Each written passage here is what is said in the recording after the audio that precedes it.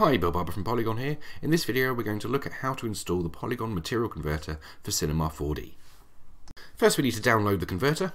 To do that head over to poliigon.com, head over to our help section, then over to tools and add-ons, and finally down to the Material Converter add-on for Cinema 4D. Then just download the file. Once the file's downloaded, we need to extract it somewhere on our computer. I'm going to extract mine to the desktop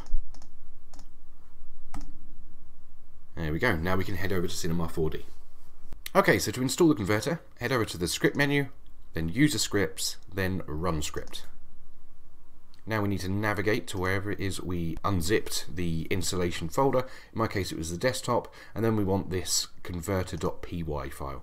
Hit open, and you'll be presented with a message saying that the uh, plugin's been installed. Just click OK on that uh, and then it will bring up the converter straight away. But to find it in the future, head over to plugins and then you'll see it listed there. Please note you do have to restart Cinema 4D before that will appear. For more information about using our converter, as well as our materials and models in general, head over to the help section, head down to our Cinema 4D area, and then for each of the main sort of renderers, there's tutorials covering everything from basic material usage uh, to more complicated subjects.